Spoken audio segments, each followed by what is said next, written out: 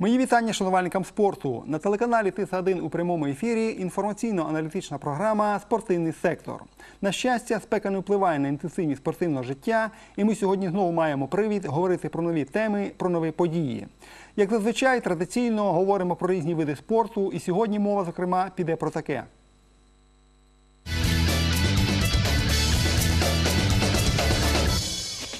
Сьогодні у випуску огляд подій, новини з ігрових та технічних видів спорту. Захід тижня турнірами допомагаємо дітям. У полі зору інваспортівці грають у настільний теніс. Тема тижня фізична реабілітація та мотоспорт. Дві різні теми в одній програмі.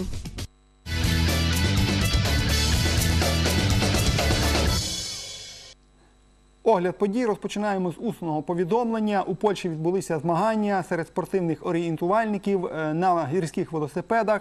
Там відбувся, зокрема, е, національний чемпіонат. Справа в тім, що там е, незабаром пройде чемпіонат Європи з орієнтування. Потім буде чемпіонат світу. І, звичайно, наші спортсмени перевіряють сили перед цими відповідальними стартами.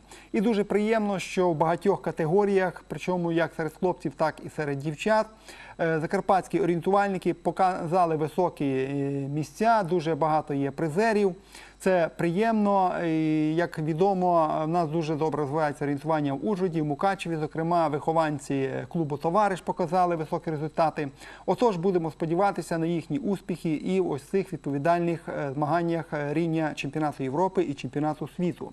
Ну а які ще потрапили в огляд е, подій е, різні новини, давайте дивитися, і, зокрема, в ігрових видах спорту.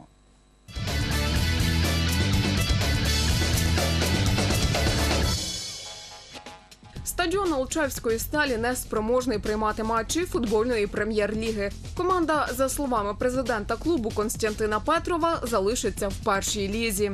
Очільник зазначив, що питання не в грошах, просто футбольний клуб хоче грати для вболівальників у рідних стінах. Відмовилася від участі в головному дивізіоні країни ЄФК Олександрія. Натомість остання команда минулого чемпіонату Запорізький металург мала намір повернутися до найвищого клубного дивізіону країни. Там же була не проти зіграти Чернівецька Буковина. Такі ж наміри висловили і в Ужгородській Говерлі. Принаймні в Закарпатському футбольному клубі висловили готовність замінити Криворізький кривбас, якому відмовлено в апеляції через фінансові труднощі, а також зміцнювати команду, провести селекцію і, враховуючи попередні помилки, гідно представляти край у прем'єр-лізі. Відтак стало відомо, що атестат на участь у ній Говерла отримала. На цей раз команда виступатиме без головного наставника Олександра Севідова. Контракт між тренером та клубом був розірваний за обопільною згодою. Що ж до прем'єр-ліги, то в ній залишився металург із Запоріжжя, а новачком дивізіону став футбольний клуб Севастополь. Зіграно матчі п'ятого туру чемпіонату Ужгорода з футболу. ФК Рятівник, ФК Радванка 1-1. Футбольний клуб Вопак, футбольний клуб Овертайм 0-5. Радванка 2, автомобіліст 2-0. Белфаст, футбольний клуб Ужну 2-1. Ужгородські баскетболісти привезли золото і срібло з відкритого чемпіонату Словацької республіки з баскетболу серед ветеранських команд. Представники обласного центру змагалися в двох категоріях у турнірі, який зібрав більше 30 команд зі Словаччини, Польщі, Чехії, України, Литви та Росії.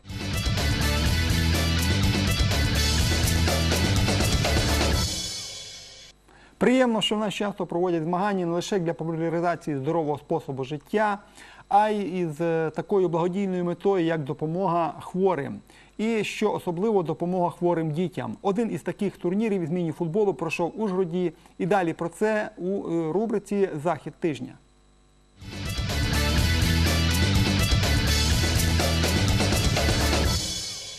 Ужгороді на спортивному майданчику ЗОШ номер 7 пройшов другий червневий кубок з міні-футболу. Організаторами виступили громадська організація молодь національних меншин Закарпаття, обласна асоціація міні-футболу, благодійний фонд Стевія, обласне відділення НОК України та управління у справах культури, спорту, сім'ї та молоді. Голова організації молодь з нацменшин Закарпаття розповів, що організатори, спонсори, партнери та команди-учасниці спортивного заходу не лише пропагують активний спосіб життя, але переслідують благодійну мету. Турнір проводиться вже другий, е, в друг- другий раз. В прошлому році ми це почали, тому що е, є дітки хворі на сахарний діабет. І ми враховуємо, що такі турніри благодійні треба проводити чим чаще, тому що це дітки потребують цих інекцій, які гроші ми зібрали сьогодні. Це всіх команд і є спонсори, які не байдужі, які допомагають У змаганнях взяли участь вісім футбольних команд, які були поділені на дві групи. Причетні до турніру прийшли провести весело та спортивно час, усвідомлюючи при цьому, що кожен з них робить хорошу справу. Дуже приємно, що багато учасників прийняли участь в цьому турнірі, адже всі кошти е, організаторам будуть направлені саме на дітей, які хворіють сахарним діабетом. На жаль, е, але ця хвороба прогресує, і тому це дуже добре, що є такі люди, які хочуть допомогти маленьким діткам.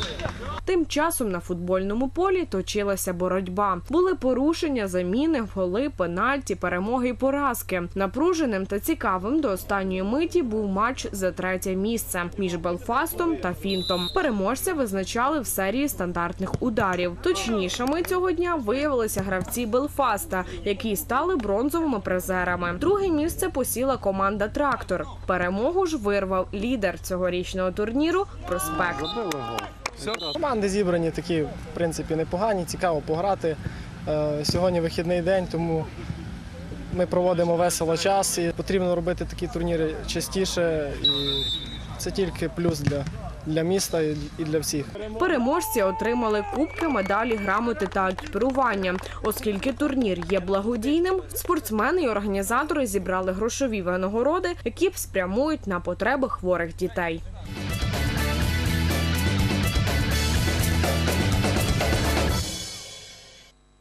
В огляді ми вже говорили про футбольний клуб Говерла, і тому повідомленням саме із нашого провідного футбольного клубу і завершуємо тему ігрових видів спорту.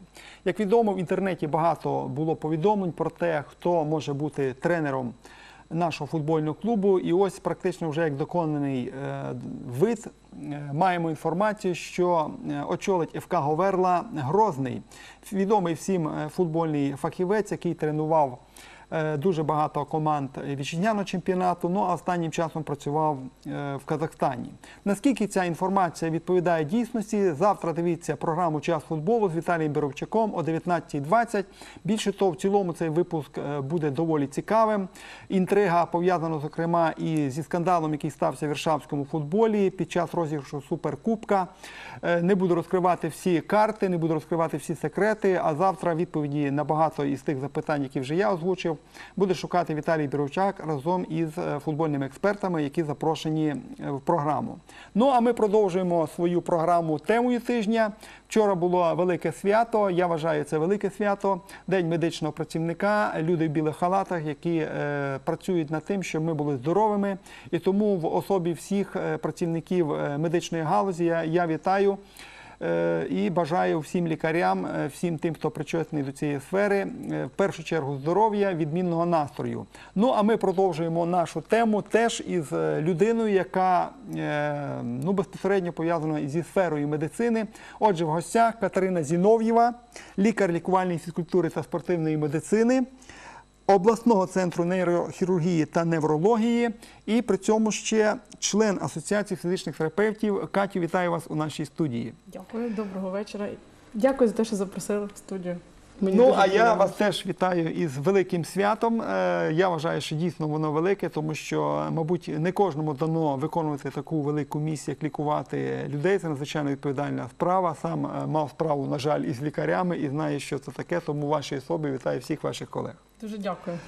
Я знаю, що ви е, маєте дві освіти: це е, освіту лікаря, так е, і фізичного реабілітолога. Скажіть, будь ласка, по-перше, як ви вирішили стати лікарем? А по-друге, чому одразу дві вищі освіти? Це вимога часу? Е, ні, це напевно не вимога часу, це е, покликання, е, сімейне покликання. Чому хотіла стати лікарем? Це так само е, було і моє бажання, і бажання е, мого батька покійного. Він дуже хотів бути лікарем, хотів, щоб я була лікарем. І це таке, ну. Е, Обопільно співпали бажання, так? так. А друга освіта е, так само. Це на, на прикладі свого батька він закінчував Львівський інститут фізкультури ще в ті часи. І я бачила, як він працює. Він працював з дітьми в спорті. Я бачила, як він працював. Мені було цікаво, тому що мені чогось не вистачало. Та, е, мені не вистачало якихось знань. І для, ну, для того, щоб працювати з пацієнтами. Тобто тільки для мене тільки ліків не вистачало для роботи з пацієнтів, а з пацієнтами. А з ним, поряд з ним, і того, чого він мене навчив, е, мені було цікаво вчитися далі. І тому е, я вирішила піти в його ще в його альма-матер. Це вже на даний момент це є Львівський е, університет фізкультури, дуже потужний. І я поступила на е, факультет реабілітації, де є дуже потужні викладачі. Ну, рекламу не будемо робити, Ні, так але, нам заборонено, ну, але, так. але для мене так. це так само друга альма-матер, яка, яку я ну, дуже люблю і завжди люблю туди І таким чином ви здобули дві освіти. Так. Е, Я нагадаю нашим глядачам, що традиційно в нашій програмі працює телефон у студії 61 61 91. Отже, як ви маєте запитання до гості, то, будь ласка, телефонуйте. Ну а якщо подивитись на медицину і на фізичну реабілітацію, на вашу думку, що між ними є спільного, а що відмінного? Гарне запитання. Спільно. Е, е, Спільне є все, тому що ми е, займаємося ну, здоров'ям людини. Як фізичні терапевти або реабілітологи, так і лікарі займаються фізичним здоров'ям. Просто лікарі займаються з ліками, да, з аналізами, а фізичні терапевти займаються вже е, м'язами, кістками, е, ну, емоціями так само. Ми запитали пересічних глядачів е, у місті, е, що вони розуміють під терміном е, фізична реабілітація. Як на мене, вони іспит цей склали, а давайте подивимося, як це було.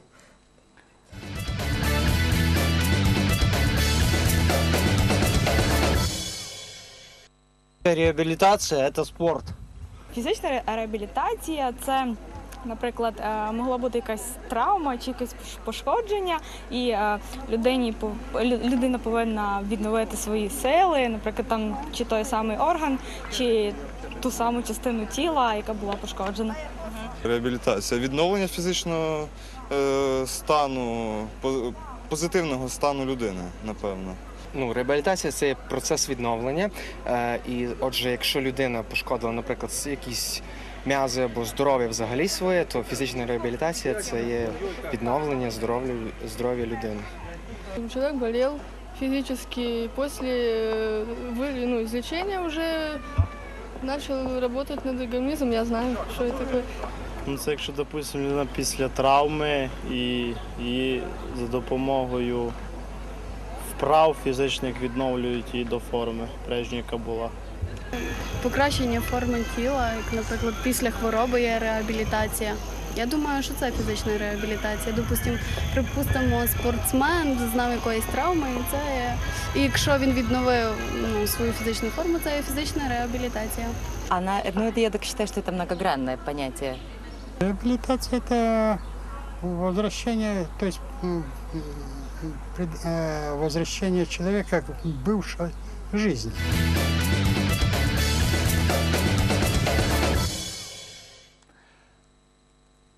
Отже, були такими відповіді. Як би ви відповіли на це запитання? Що таке фізична реабілітація?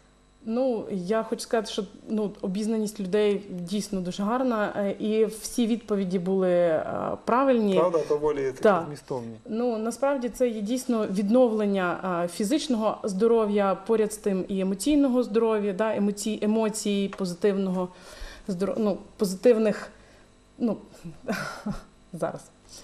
Е, Тобто е, відновлення як фізичного здоров'я, так і психологічного здоров'я за рахунок е, фізичних вправ, за рахунок Комплексу різних, мабуть, так. та, ну, це не тільки вправи, це є і взагалі соціалізація. Тобто остання відповідь повернення людини до життя. Це таке, як об, таке, Людина з досвідом, так, філософський так, десь, так, мабуть, так. Якщо подивитися на фізичну реабілітацію, без сумніву, е, є специфіка роботи, е, в залежності від е, якогось захворювання, так, залежно від вікових груп там, і тому подібне. Скажіть, будь ласка, якщо брати, скажімо, ось е, вам доводиться мати справу з цими групами, наприклад, із людьми з обмеженими фізичними можливостями, в чому полягає специфіка реабілітації саме ось таких людей? Специфіка е, роботи з людьми ну, з, обмеж- з обмеженими фізичними можливостями це є повернення до життя, тобто соціалізація, е, вміння себе обслуговувати, вміння почистити зуби, вдітися, перевдітися, вийти на вулицю, піти в магазин, купити, ну, е, купити продукти. Вміти е, спілкуватися, тому що у- нас е, дуже багато людей з обмеженими можливостями сидять вдома або в інтернатах. У нас дуже мало людей, які виходять на вулицю і е, ведуть активний спосіб життя. Ну, Крім того, я знаю, вам ще доводиться мати справу з особливо важкими е, випадками, окрім людей з обмеженими фізичними можливостями, зокрема з тими людьми, які отримали, ну скажімо, травми хребта. Скажіть, будь ласка, в чому тут специфіка і як головне психологічно таких людей? Ну, уявіть собі, вчора була людина здорова, абсолютно так, жила своїм звичним життям, і тут е, нещасний якийсь випадок, і вона абсолютно переноситься в інший вимір, е, вимір із е, особливими проблемами, так, фактично із особливим способом існування. Ну, фактично, це теж можна на певній мірі сказати, що це можуть бути люди з обмеженими фізичними можливостями, дехто, на жаль, залишається на все життя в такому статусі, але декому вдається е, ну, реабілітуватися і повернутися, хай не, до повноцінного звичного життя, але все-таки до звичного життя. В чому специфіка ось саме таких категорій? А, е, Насправді люди, які є з травмами хребта, їх треба, ну, їм треба показувати, що життя продовжується. що Так само можна активно займатися спортом, це є інваспорт. Так само можна мати сім'ю, так само можна працювати. Е, Ні в якому, ні в якому разі не можна залишати е, людину вдома. Тому що вона є вдома і вона далі нікуди не хоче рухатися. Навпаки, треба показувати людині. Е, В Україні є е, дуже багато активних таборів для таких пацієнтів. Е, Є у нас е, в Україні Національна асамблея інвалідів України, яка дуже часто робить на Буковелі активні табори, е, в Луцьку на, ну, на природі, є зимові активні табори, є літні активні табори. І е, завдяки цим таборам пацієнтам е, розказують, показують, їх навчають, як треба за собою слідкувати, як треба е, вмиватися, як вдіватися, як підніматися по сходинках на інвалідному візочку, як спускатися. Тобто існують цілі програми. так, тобто, так? як, як себе, як за собою дивитися і бути індивідуальністю в цьому світі. Ви є членом Асоціації фізичних терапевтів України. Скажіть, будь ласка, що це за асоціація, чим вона займається, і власне яку нішу ви в цій асоціації зайняли? Асоціація фізичних е, терапевтів е, це е, ну, є. Асоціація займається тим, що розказує, інформує про те, що це таке фізична терапія, що таке фізична реабілітація. Тобто ми говоримо зараз про фізичну реабілітацію. За кордоном е, це є фізична терапія. І за кордоном нема реабілітологів, там є фізичні терапевти.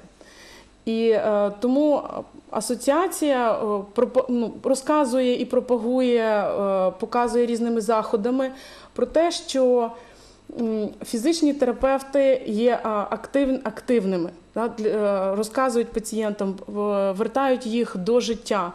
Е, І так само е, є ну, одною із е, ну, одним із направленням асоціації є те, щоб зрівняти, ну не зрівняти, але підняти е, фізичних терапевтів до лікарів або до статусу.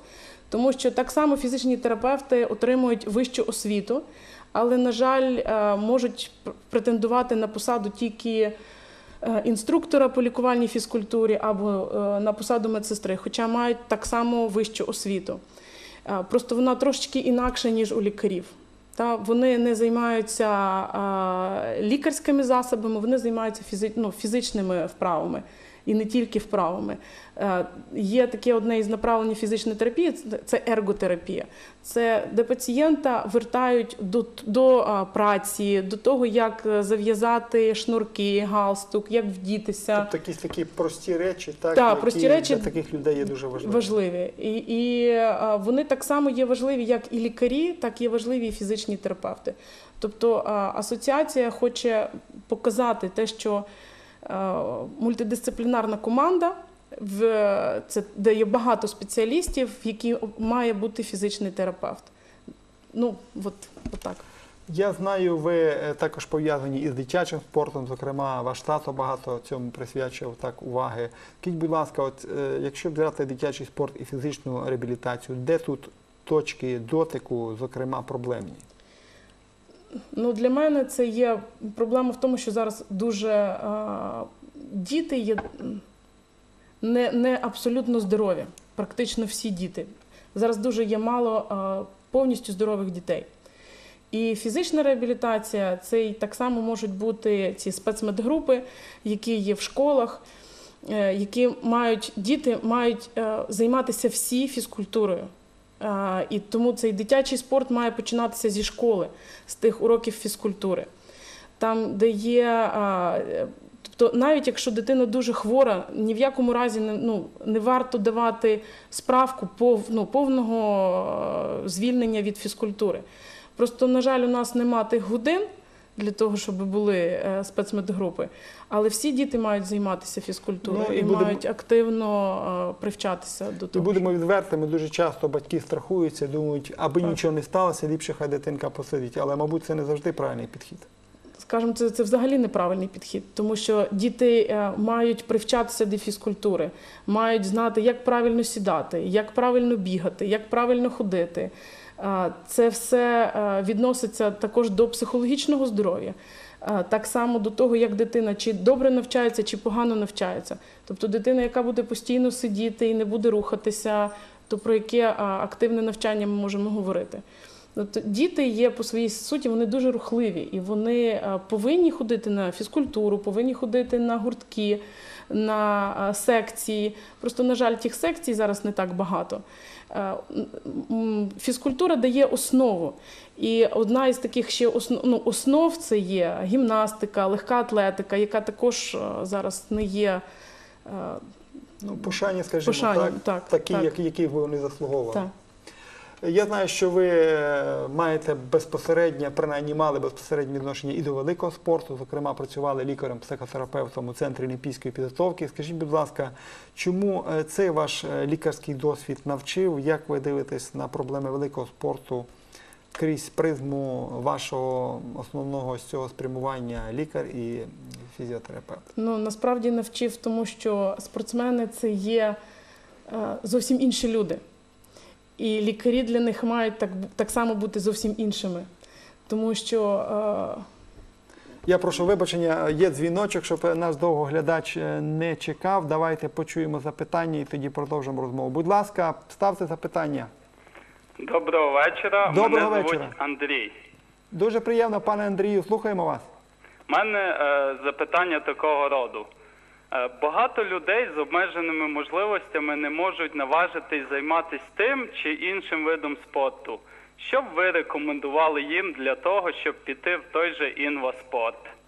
Е, Спасибі, Андрію, за запитання. До речі, дуже актуальне запитання. Ми його неодноразово вже в студії порушували із представниками інваспорту.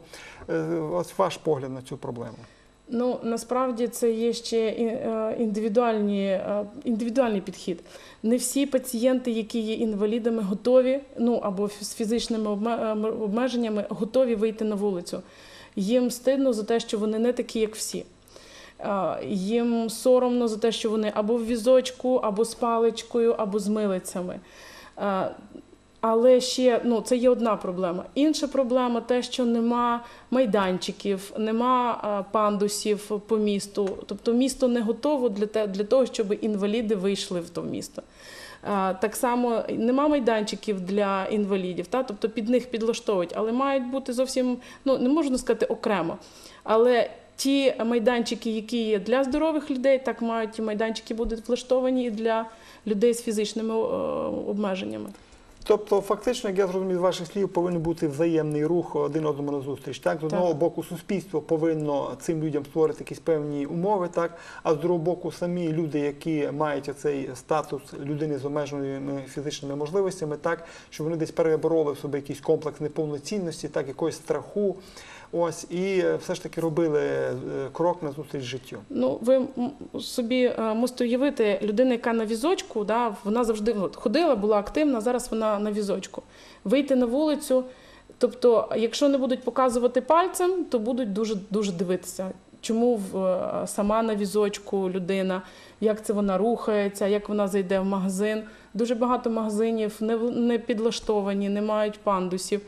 Пандуси так само мають бути правильно підібрані, правильно зроблені. Там є певні кути. Тобто ну, неможливо е, навіть на десь, коли якщо пандус більше ніж 10 градусів, піднятися. Це, ну, тобто, е, мають бути інформаційні е, інформацію давати як для пацієнтів, так і для людей з обмеженими можливостями, так і для здорових людей. Е, Повертаючись до запитання Центру олімпійської підготовки великого спорту, е, чому вас все ж таки цей досвід навчив? те, що спортсмени не мають е, обмежень. Вони хочуть, вони хочуть досягати е, певних результатів. Е, Їх не цікавить те, що у них є травми, те, що їм болить. Вони йдуть, вони досягають. Це дуже цікаво, але в, той же час, в зв'язку з е, напевно якимись там фінансовими. е, Політичними, напевно, вони не завжди можуть досягти тих результатів, тому що е, вони мають думати не тільки про результативність, але й про те, як купити квитки, як поїхати, чи привезли їх багаж, чи не привезли їх багаж, чи можуть вони тренуватися, чи не можуть вони тренуватися. Тобто дуже багато але для того, щоб досягти результатів. Тема фізичної реабілітації доволі широка. Будемо сподіватися, Катю, на нові зустрічі і продовжувати нові теми. Ну а нашим глядачам я е, кажу, що в нас була е, в гостях лікар е, фізичної фізкультури і спортивної медицини Катерина Зінов'єва. Далі у нас на черзі новий гість, і поки я вас зустрічатиму, давайте подивимося сюжет, який якраз був у розрізі фізичної реабілітації. В Ужгороді були проведені цікаві змагання серед інваспортівців з настільного тенісу. І після цього сюжету продовжимо тему тижня.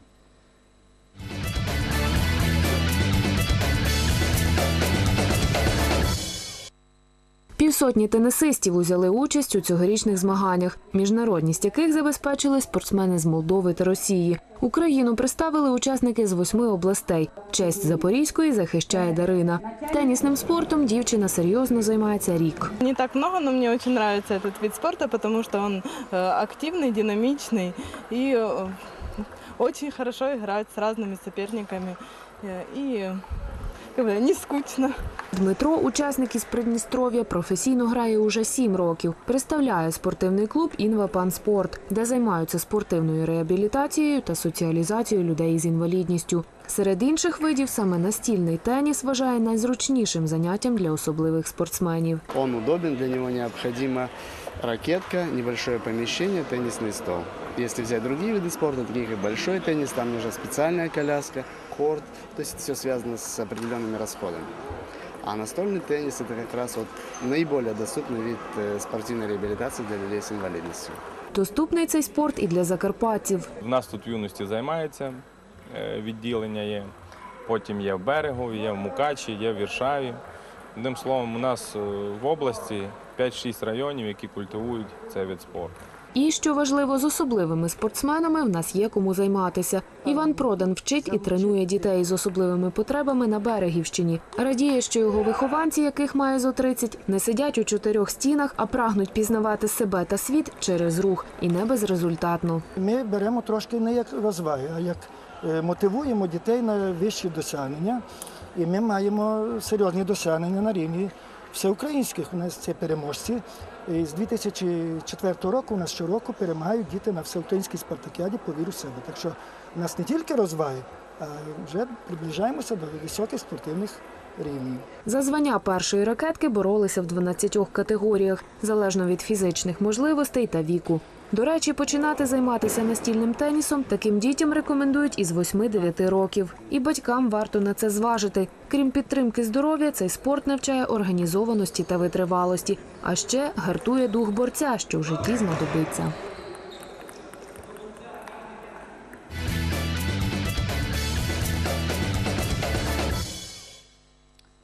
Від інваспорту переходимо до мотоспорту. І сьогодні у нас в гостях у студії голова обласної федерації мотоспорту Віктор Юрійович Стегура. Е, Віктор Юрійович, вітаю вас на нашій студії. Добрий вечір.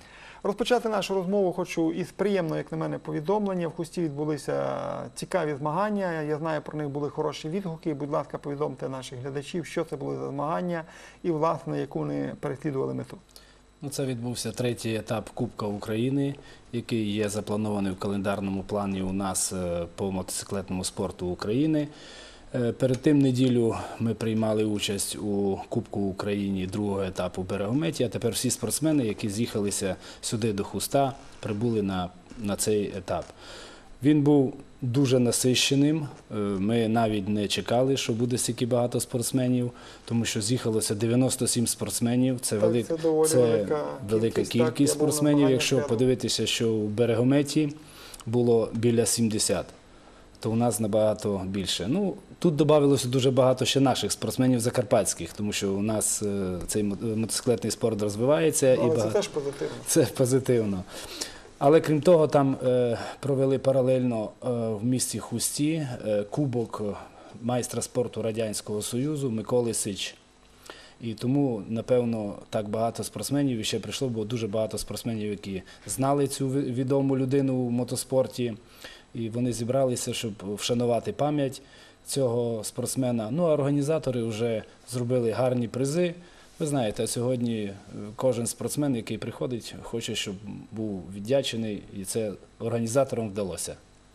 Нашим глядачам нагадаю, що в студії продовжує працювати телефонна лінія, номер телефону 61 61 91. Отже, якщо у вас є запитання пов'язані з мотоспортом, ставте їх Віктору Юрійовичу. Віктор Юрійовичу, ви сказали, що додалося закарпатських спортсменів. У цілому чи переросла кількість у якість? Декілька років тому ми клали перед собою мету, щоб чим більше втягнути молоді у е, цей прекрасний вид спорту. Я вважаю, що нам це вдається, тому що десь переходить такий період, що е, старші спортсмени, які були, які приносили славу закарпатського мотоспорту, е, вони починають вже трошки свої позиції залишати. І в нас тепер такий перехідний період проходить. Але ми в кожному класі мотоциклів, напевно, хто інтересується мотоциклетним спортом, то знає, що е, в мотоциклетному спорті є дуже багато видів. Тобто категорій, починаючи від маленьких дітей із 50 кубічних сантиметрів, де їздять дітки з 7 років, і е, потім 65 – це 10-12 років, 85 – 12-15 років. І от у цих дитячих категоріях ми постаралися так, щоб всі клуби, які представляються у Закарпатській області, потрошку наповнювали е, свої е, команди молодими спортсменами, щоб заміняти уже старших. І це нам вдається завдяки нашим таким і спонсорам, і людям, які заінтересовані. Це Берегівський район на сьогоднішній день дуже потужний. Це команда Берег Відейк, де в основному діти наші закарпатські задіяні. Це Хуський технічний коледж, де на якій базі сьогодні був проведений третій етап Кубка України. Це Ужгород, де теж е, багато дітей, які займаються. І ми кожним роком маємо е, більше і більше таких молодих дітей, які починають займатися вже. Ну, ми не можемо сказати, що на професійній основі, тому що немає професійної, але вже на рівні е, чемпіонатів і Кубків України. Так, тобто потроху з любительського рівня піднімається, Піднімається, вище. да. Е, В цілому, ви правильно сказали, е, тема зміни поколінь зараз відбувається в мотоспорті. Загалом вона актуальна є для різних видів спорту, але, як на мене, в мотоспорті особлива тим, що ну, ось цей досвід і оці навички передати ну, значно можливо важче, ніж в деяких при всій повазі інших видах спорту. Тому що все-таки мотоцикл це технічний засіб, засіб непростий, так. Е, Конкуренція сьогодні дуже висока, з'являються нові види машин, удосконалюються, потрібно тут, як кажуть, притиратися. На ваш погляд, що важливо саме донести дітям, яку е, вкласти їм філософію, щоб вони ось перейнялися цим, е, цією технічною складовою виду спорту, про який власне ми говоримо? Дуже гарне запитання, тому що е, не одне навчити дитину сидіти на мотоциклі і просто кататися по дорозі. Це надзвичайно просто, як на велосипеді. Кожна дитина, починаючи з трьохколісного, переходить на двохколісний велосипед і починає кататися на дорогах. Але мотокрос і мотоспорт це зовсім інше. Це, перш за все, це культура, витримка і чогось добитися в житті.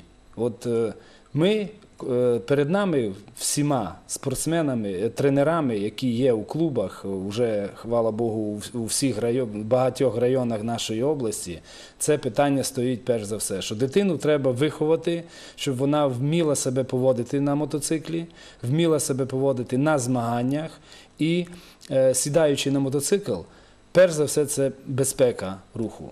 Е, Всі дітки, з якими займаюся і я, вони знають, і я вважаю, що багато із них і дивляться сьогоднішню передачу, і вони мене чують. І тепер наше тренування починається з того, що повне оволодівання мотоцикла повинна бути, е, і контроль над всіма діями їх на мотоциклі. Тому наша задача не тільки навчити їх кататися, а навчити правильно їздити і е, виконувати ті, ті дії, е, які би не приводили до травматизму. Тому що ми з вами всі прекрасно знаємо, що спорт це не, фізи, не фізкультура. І хто займається, переходить на рівень спортивний, то завжди є якісь травми. От наша задача це зменшити, щоб травм не було, а рівень і культура у спорті виросла на певний рівень, який він сьогодні. Ми вже маємо, я вважаю, у мотоциклетному спорті, тому що е, дітки набагато стали е, толерантні один до одного. Ну, це видно, це видно на трасах, це видно на, на, на, на тренуваннях, коли вони збираються, коли вони щось обговорюють. Ну і власне спорт він взагалі дисциплінує, Да. тим більше в такому серйозному виді, Да. так як мотоспорт. Е, В цілому, звичайно, технічна ця складова, е, ми вже говорили, дуже важлива, так? Але є ще таке поняття в спорті як талант, уміння відкрити талант. Як ви вважаєте, в чому проявляється цей талант мотоспортсмена? Як його дійсно відкрити? Да, це, це, це, одна, один із важких моментів е, кожного спорту. Я думаю, щоб відкрити цю зірочку, яка е, лише починає займатися, і побачити в ньому, що він дійсно буде, е, йому треба займатися цим видом спорту. Це, я думаю, вже, як би мовити по-російськи, іскусство тренера. Побачити у цих дітях тих спортсменів, які дадуть певний результат. Тобто багато що залежить саме від Від тре- наставника. від наставників. Від, від тренера. Це вже не секрет, і, і прекрасно вже всі знають, що дуже багато на сьогоднішній день е, дітей це батьків, які займалися спортом. Не тільки в мотоспорті, це в всіх видах спорту. Що в фехтуванні, що в дзюдо, що у футболі, всюди. Так воно є, що передається з покоління в поколінь. Е, Так є і в мотоспорті, що дуже багато талановитих дітей, які сьогодні вже є членами збірних команд е, нашої області. Це діти е, бувших спортсменів. Але є і дітки, які приходять, що абсолютно батьки не мали нічого до мотоциклетного спорту, наприклад, із футболу, знаємо, і Берегівські райони, і ці приходять у мотоциклетний спорт. Тому що мотоциклетний спорт він виховує волю до перемоги. Що є одним із основних, я вважаю, одним із основних таких моментів сьогоднішнього сьогодення. Тобто не тільки для спорту, а й для життя. Для життя однозначно. От. І я хочу сказати, що дітки, які, які займаються, вони чогось добиваються завжди. А це є важливо, щоб вміти дійти до тої мети, яку вони хочуть бачити у житті. А ми їм в цьому будемо допомагати.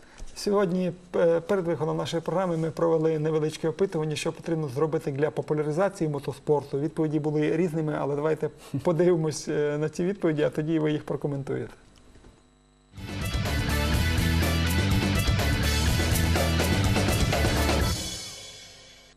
Вообще для общего спорта нужно много чего делать в нашей стране. Що саме? Развивать его. Делать бесплатным его, потому что немногие могут э, оплатить этот спорт. Занятия для детей, которые не могут посещать, допустим, спортивные школы. Соответственно, у нас и нету фактически э, развитого нормального спорта. Что нельзя сделать деньгами, то можно сделать большими деньгами. Вот и так. Е, Я думаю, по-перше, це бажання, щоб люди захотіли цим займатися, цим видом спорту. Е, Звичайно, він дуже небезпечний, тому потрібно бути дуже обережними. В принципі, я не можу сказати, що я любитель або, або взагалі я не каталася ще, тому не знаю. Я не рахую мотоспорт е, фізично корисним, тому я навіть не знаю. Це реклама, як мінімум. Ну і відбудувати будувати відповідну інфраструктуру. Без цього нікуди. Ну, для початку, я думаю, потрібно відкрити якісь траси, е, зробити, е, відкрити якісь магазини спеціалізовані, там мастерські, якісь е, точки, в яких можна взагалі цим займатися, брати на оренду, наприклад. І це допоможе і реклама хороша. Ну, треба як гуртки робити, на мою думку, людей туди, як приглашати, пробувати. Ну, в нашу чергу я бачу, що треба, щоб було доступно в ціні це. Щоб були якісь спонсори, щоб як дітей, молодь туди як тянуло. Якщо дорого, це не буде на наш час. Сделать хорошие дороги, чтобы они могли э, безболезненно и без, и без травм э, спокойно тренироваться и, и заниматься любимым делом. Потрібно проводити більше різних акцій.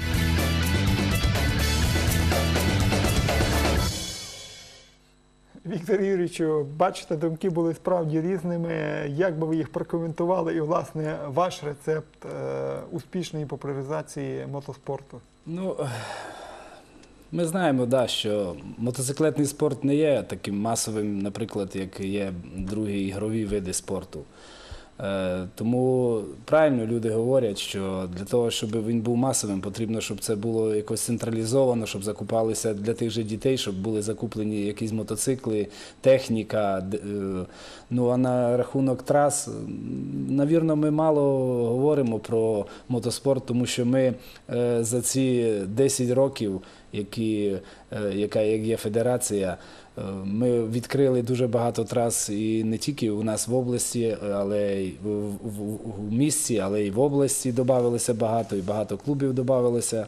Ну, можливо, той Ну, глядач, це- той мешканець, який відповідав, Да. можливо, не цікавиться мотоспортом. Да, це так таке. Це, але приємно, приємно що, що вже ця тема піднімається у нас е, в обласному центрі і, і взагалі про мотоспорт. Тому що ну, це такий вид спорту, який дійсно є, потрібно, щоб були тільки любителі, любителі цього виду спорту, і там тоді буде його розвиток. Ну і будемо відвертими, це вид спорту доволі такий коштовний, так, тому Да. що потрібно закуповувати машини. Скажіть, будь ласка, у, якщо беремо е, Закарпаття, ті осередки, які є, так, в Ужгороді, там Хусті е, і так далі, Свалява, Берегу, як ви сказали. е, Основний тягар е, лягає на плечі спонсорів чи якихось місцевих осередків. Хто закуповує машини, наскільки вам часто вдається Ну. поповнювати цей парк сучасних машин? Адже, як відомо, з кожним роком так конкуренція удосконалюється машини. І якщо в тебе машина слабша, так е, мотоцикл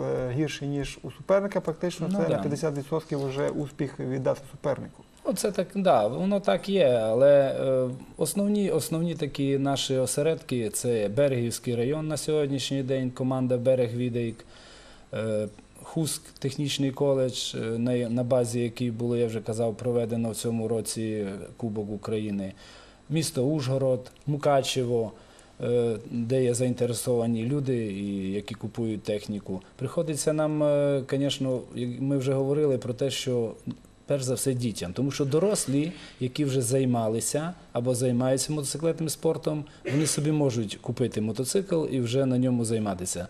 Найбільша проблема це діти. Це от ці три категорії дітей, яких я називав. Щоб саме для них Щоб для них. Ось Е, Підказують мені колеги, є дзвінок у студію. Давайте послухаємо запитання. Доброго вечора. Алло, Слухаємо вас. добрый вечер. При- вечір. Представтеся. Питання до вас, ведучий. Треба, побувши давати по телевізорі рекламу, показувати мотокрос. Дядя Вітя, для вас. Дякуємо за вчорашній мотокрос від наших зрителей. Ти поняв, хто дзвонить, дядя Вітя? Перечинський район, я так зрозумів, Ну, Василь. друге Це- питання, дядя Вітя. Треба, щоб були е, плакати, реклами по городі, що люди бачили, що де проводяться мотокроси. Допустим, дивіться, був чемпіонат світу по колясках, знаєш, в Черновцях. Я оттуда привожу рекламні ті і роздаю між людьми. У Хусті було змагання, ніхто не знав, коли де. Пам'ятаєш, ми в тебе питали, ти нам повів. Але є люди, які б поїхали, нема реклами, де пише, коли як, яка гонка. Дядя Вітя, просьба. Дякуємо за вчорашній день і взагалі за те, що ти робиш для мотокросу. І спортсменам великий поклон. Е, Спасибі велике за запитання і за коментар, власне, який прозвучав. Е, Бачите, е, відчувається, люди переживають за цю справу, і в тому числі, бачите, радять розвивати інформаційно Да. цей вид спорту. Є, є такі у Будь нас, ласка, ваш коментар. Є такі у нас е, е, глядачі, які вже переїжджають навіть не тільки у нас в області, але переїжджають і по Україні їдуть за нами і болівають за нас, наші вболівальники. Ну а насчет реклами, да, це нам над цим потрібно федерації думати, щоб е, більше було інформації про цей вид спорту, щоб більше мож- можливо підключати спонсорів для того, щоб можна було їх показувати на мотоциклетному кросі. Ми будемо старатися, щоб дійсно мотоциклетний спорт на Закарпатті розвивався, тому що історія давня в нього, і ми не можемо залишити цей вид спорту. Ну і власне удосконаленню немає меж, тому як кажуть, чим більше працюєш, тим більше з'являється і нових можливостей, і бачите, як кажуть, збоку, що можна зробити. Якщо подивитися е, на той шлях, який федерація пройшла, ну фактично вже за півроку, так yeah. що ви можете сказати, що відбулося за ці е, за цей період цікавого у мотоспорті, зокрема Закарпаття? І, власне, які ваші плани в подальшому на цей сезон? Е, які ще будуть змагання, де братимуть участь саме закарпатці? Почали ми цей сезон із проведення чемпіонату області в самому теплому районі, це в Виноградівському районі, де зібралися вся наша Закарпатська область. Е, Біля 70 чоловік приймало участь. Е, Потім було сформовано три команди, такі основні команди клубні, які, які були заявлені на Кубок України. І почали ми із е, першого етапу Кубку України. Також у нас у Закарпатті, це в Берегові, Берегівському районі, на трасі Берег-Рінг, нова траса, яка збудована. Там е, дуже гарно наші спортсмени виступили. Потім ми поїхали е, в Берегомет. Це був другий етап. Також е, наші спортсмени е, були представлені на цих. І ми е, я так трошки буду вже скоріше, тому що у нас багато чого є, щоб ми все охватили. Три команди, які представлені в Кубку України, так було вирішено. Практично першим на сьогоднішній день йде команда Берег, Берег Відейк Берегівського району. Другою командою є Хуст Технічний коледж, це теж хороша команда. І е, третьою команда Ужгород. Е, Це команди, які з спортсмени, з яких представлені у склад збірних е, збірної команди області. Закарпаття завжди займали лідируючі позиції в Україні. Скажіть, будь ласка, зажигаючи на цю зміну поколінь, вдасться втримати ці позиції? Будемо старатися. У нас е, на сьогоднішній день задача це виграти Кубок України, тобто не впустити його, тому що ми вже 4 роки підряд виграємо Кубок України командний, і виграти командний кубок е, хоча б е, одною командою виграти, а щоб друга була другою. А це щоб одна із них або технічний Хуський технічний коледж, або берег Відейк, Берегівський район, щоб ці два клуби були хтось із них по клубній системі чемпіонами, а закарпатська збірна команда, щоб виграла Кубок України. Це наше завдання на цей рік. А вже будемо на другий рік е, планувати, щоб наша молодь виступила як найможливо. Не хочу забігати наперед, але у нас така задача стоїть, щоб ми виставили наших молодих спортсменів на чемпіонат Європи. Тому от Добре, дякую вам за участь у нашій програмі. Бажаю вам і вашим колегам нових успіхів у е, тих змаганнях, які будуть зокрема в цьому році. Ну а нашим глядачам на закінчення скажу, що відбувся в Сомбатхеї в Угорщині е, чемпіонат Європи з танцювального спорту. Е, За програмою 10 танців провідна наша пара Вероніка Мешко і Володимир Лятов посіли п'яте місце. Це з понад е, 30 країн були учасники. Дуже приємно. І, е, звичайно, я бажаю те, щоб ви були, е, шановні наші глядачі, серед лідерів, а ще займайтеся фізичною культурою і спортом та будьте здорові.